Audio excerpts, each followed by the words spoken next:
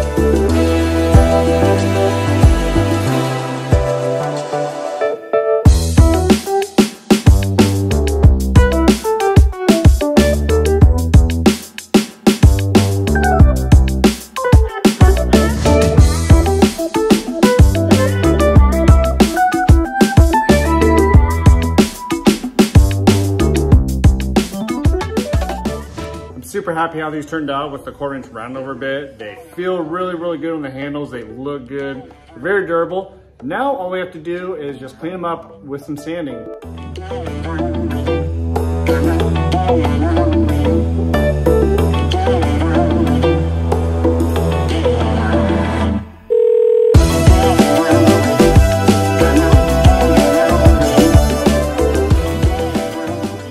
First time using the spindle sander, I have to say I absolutely love this thing. It makes such easy work at getting in holes and corners, whereas you resort to using your fingers to get the tight areas because your orbital sander is not going to be able to get there, as you can see. So yeah, this just saved me a lot of effort.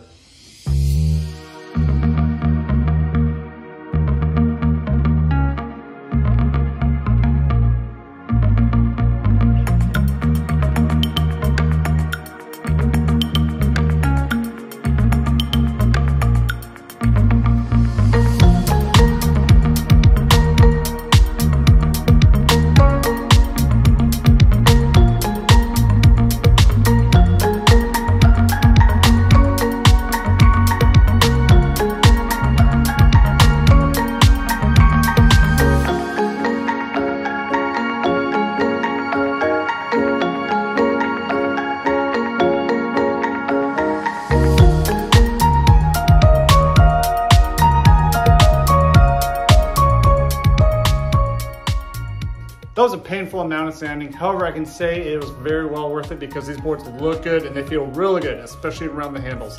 All that's next to do now is to add mineral oil, board conditioner, get them ready for market.